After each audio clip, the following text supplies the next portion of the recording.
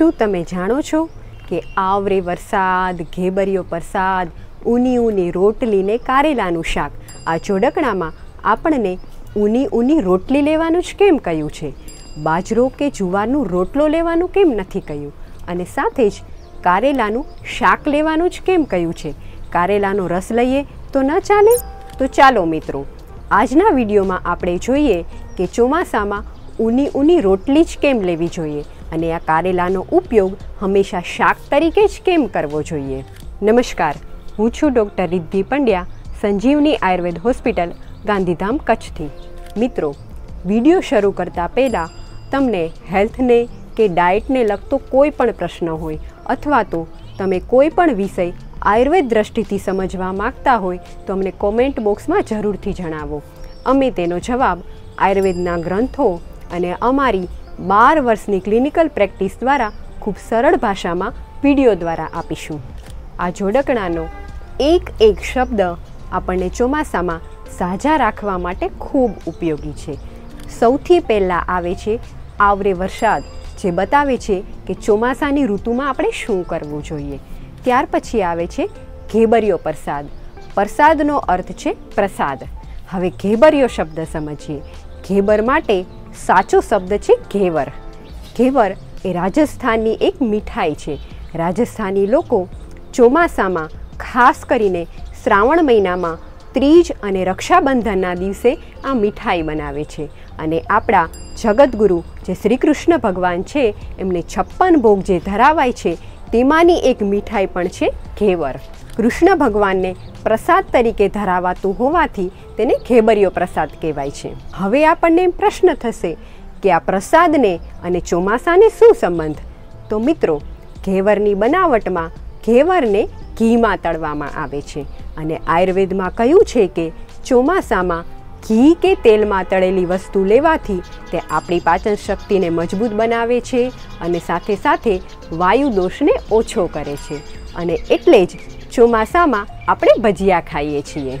મિત્રો, આપણે આ જોડકણાની પહેલી લાઈન સમજી લીધી. હવે બીજી લાઈન સમજીએ. બીજી લીટીમાં સૌથી પહેલો શબ્દ આવે છે ઊની ઊની. ઊની ઊની એટલે ગરમ ગરમ. એ બતાવે છે કે ચોમાસામાં આપણે ગરમ ગરમ ખોરાક લેવો જોઈએ. શા માટે?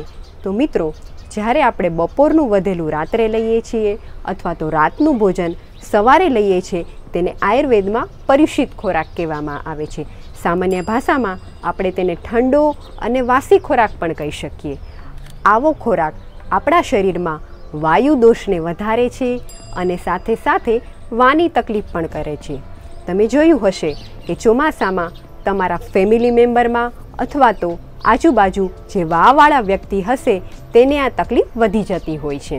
અને એટલે જ આ વાની તકલીફ વધે નહીં અને આપણા શરીરમાં વાયુ દોષ બેલેન્સમાં રહે એટલે ચોમાસામાં આપણે ઊની ઊની એટલે કે ગરમ ગરમ ખોરાક લેવો જોઈએ. મિત્રો, આપણે ઊની ઊની શબ્દ સમજ્યા. તો હવે આપણે રોટલી શબ્દ વિશે સમજીએ. ચોમાસામાં આપણે રોટલી જ કેમ લેવી જોઈએ?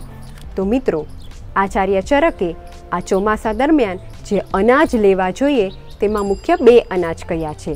સૌથી પહેલું, જૂના ઘઉં લઈ શકાય અથવા તો બીજા નંબરે જૂના જવ લઈ શકાય.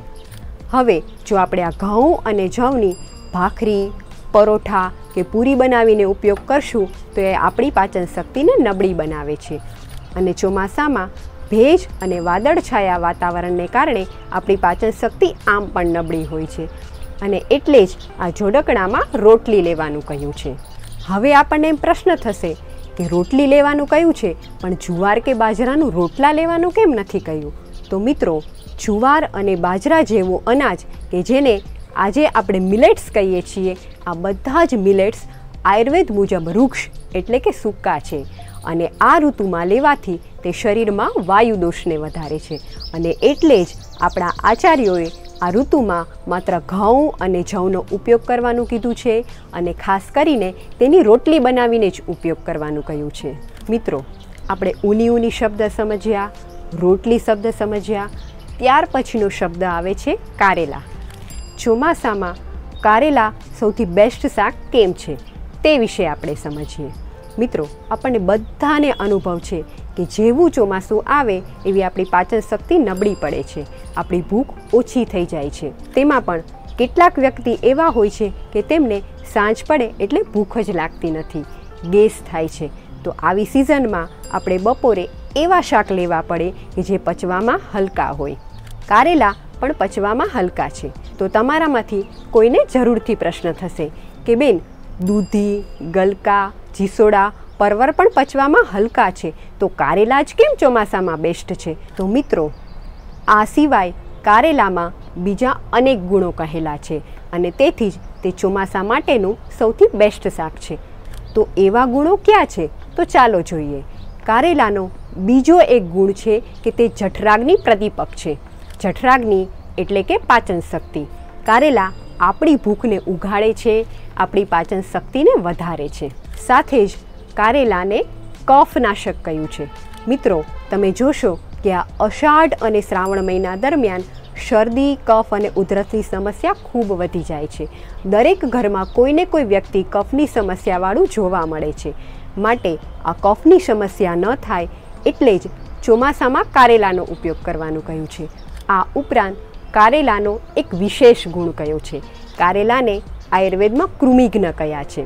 કૃમિઘ્ન હોવાને કારણે કારેલા આ ઋતુમાં વાયરસ કે બેક્ટેરિયલ ઇન્ફેક્શનને કારણે જે રોગો થાય છે તેનાથી આપણને બચાવે છે અને આપણને હેલ્ધી રાખે છે. આમ, કારેલામાં આટલા બધા ગુણો હોવાને કારણે તે ચોમાસાનું સૌથી બેસ્ટ શાક છે. તો આપણને એમ પ્રશ્ન થશે કે કારેલા આટલા બધા ઉપયોગી છે તો એનો રસ બનાવીએ તો ન ચાલે? એનો રસ તો ડાયાબિટીસમાં પણ ઉપયોગી છે. તો શાક શા માટે બનાવવું જોઈએ?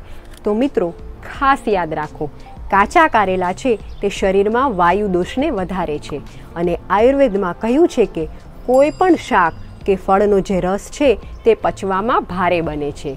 અને એટલે જ આ જોડકણામાં આપણને રસ લેવાનું કહ્યું નથી.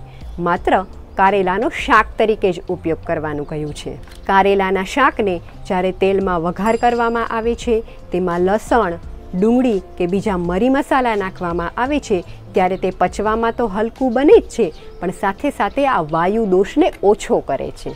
તેમાં પણ આયુર્વેદમાં કહ્યું છે કે જો આ કારેલાના શાકને તલના તેલમાં વઘારવામાં આવે અને જો તેમાં જૂનો ગોળ નાખવામાં આવે, તો સોનામાં સુગંધ ભળી જાય છે. એટલે કે આ રીતે બનાવેલું કારેલાનું શાક આપણને ચોમાસામાં ડબલ ફાયદો કરે છે. આમ, આ જોડકણાનો એક એક શબ્દ આપણને ચોમાસામાં સાજા રાખવા માટે ખૂબ ઉપયોગી છે. આ વીડિયો તમારા નજીકના મિત્ર વર્તુળમાં શેર કરજો અને ખાસ કરીને આ વીડિયો યંગ જનરેશનને જરૂરથી શેર કરજો, જેથી તેઓ જાણી શકે કે આપણા પૂર્વજો કેટલું વૈજ્ઞાનિક દ્રષ્ટિકોણ ધરાવતા હતા અને આ પરંપરાનું જો આપણે પાલન કરીશું, તો આપણે સ્વસ્થ રહી શકીશું અને સ્વસ્થ સમાજનું નિર્માણ કરી શકીશું. આયુર્વેદ અપનાવો, સ્વસ્થ રહો.